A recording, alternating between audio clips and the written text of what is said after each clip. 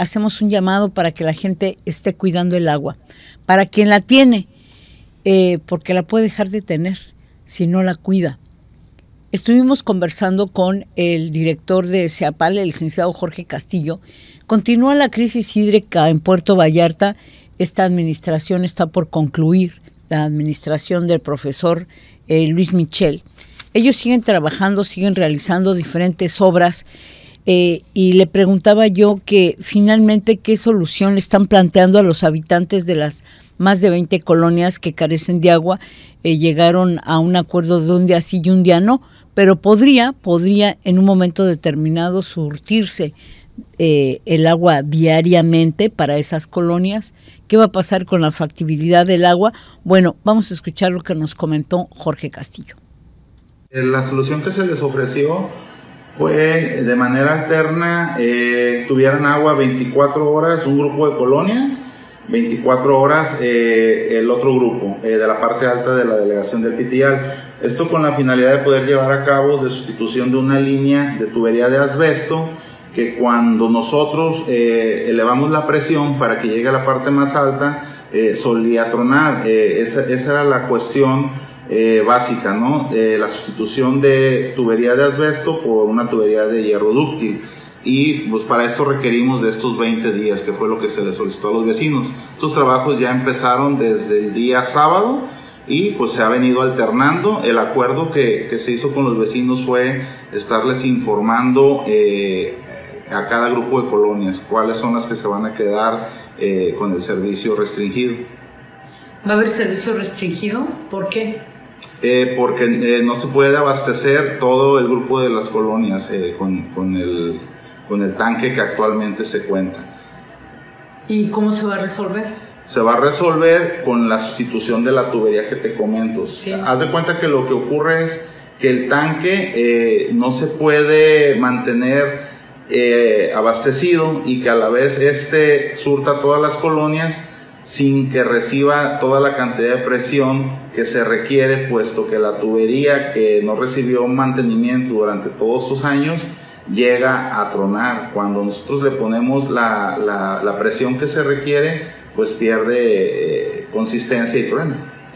Y bueno, para resolverlo definitivamente, ¿van ustedes a renovar esa infraestructura? Sí, Susana, se va a renovar eh, de manera escalonada, de manera paulatina, pero eh, el compromiso que se hizo de los 20 días sí garantiza que la parte alta del pitillal quede resuelto en este periodo. Sí, ya tenemos, de hecho, el material empezó a llegar, como te decía, el día sábado y ese mismo día iniciaron los trabajos.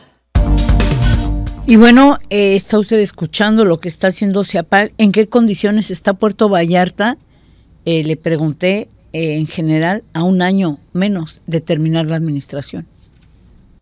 No, pues prácticamente se va a dejar con todas las colonias cubiertas. tenemos actualmente un 98% eh, de cobertura en agua potable y en, alcantarillado, en drenaje, pero eh, tenemos ya la incorporación de, dos pozos, el pozo 5 en Iztapa y el pozo 26 aquí en la colonia La Avena, que son los trabajos que, hemos estado visitando tu servidor y el alcalde. Ya se incorporan a la red eh, en cada uno 40 litros por segundo más que, estarían aportando 80 litros más a la red. Esto sería dentro de este mismo mes de julio y pues quedaría con esto ya resuelto el tema, ¿no? De manera definitiva. Eh, esto aunado a la sustitución de la tubería que te comentaba en la parte de la delegación del Pitillal. Y finalmente, ¿en qué condiciones está también otra área muy importante de Puerto Vallarta que tiene que ver con el ranchito, que tiene que ver con la desembocada? Ya ve que la desembocada le estaba apoyando en agua al ranchito, iban a arreglar este pozo y sobre eso también le comentamos, le preguntamos al director de CIAPAL. El pozo radial, eh, fíjate que derivado de la, de la creciente que tuvo el río, nuevamente se desvió el día domingo, ese mismo día entró la maquinaria a trabajar y hacer un reencauzamiento para que el pozo siguiera eh, aportando. Eh, desgraciadamente eh, tuvo una pequeña merma por, el, por la parte del agua superficial que se capta porque el agua estaba muy sucia y no se puede mandar así a la, a la potabilizadora porque sería contraproducente. Sin embargo, eh, bueno, ya se buscaron medidas alternas para enviar una, una parte del agua eh, que capta de manera profunda y que no se deje de, dar el abasto, ¿no? Actualmente eh, lo bueno de todo esto es que ya empezó el temporal de lluvias y todos los, todos los, este, los mantos se recargaron y pues los pozos ya empezaron a aportar su máxima capacidad. ¿El aforo del radial de cuánto es? Ahorita actualmente está en 160 litros por segundo. Este, no, no, no, no fue significativa la, la reducción porque te digo que se hicieron las maniobras el mismo domingo, ¿no? Derivado de las lluvias del fin de semana, eh, había, había sido este, desviado por, el, por la propia corriente, ¿no? Pero se hicieron los trabajos de manera inmediata. Entonces, pues ya. ¿Y el ranchito? El ranchito, eh, esta semana se instala la nueva línea de Comisión Federal de Electricidad y ya este, pues se está equipando nuevamente ese, ese, ese pozo. Ese va a aportar 10 litros por segundo y va directamente a toda la zona a toda la zona rural. También comentarte que estamos ya por recibir la bomba para Tebelchía, que es otra, otra aportación más ahí para la zona rural es otro, otro, otro pendiente que había ahí de, atender.